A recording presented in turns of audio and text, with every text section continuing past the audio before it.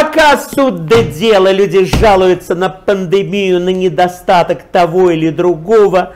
В издательстве «Слово» вышла моя новая книга, по-моему, 25-я по счету, «Советский стиль без ретуши», роскошное издание на красивой бумаге, прекрасные иллюстрации из моего личного архива расскажут вам всю правду о жизни в СССР. Ведь мы так любим ностальгировать. Повод для того, чтобы ностальгия была подтверждена не только детскими воспоминаниями, но и документами эпохи. Роскошные тексты, прекрасные фотографии и, конечно же, уникальное счастье сделать Красивый подарок к Новому году.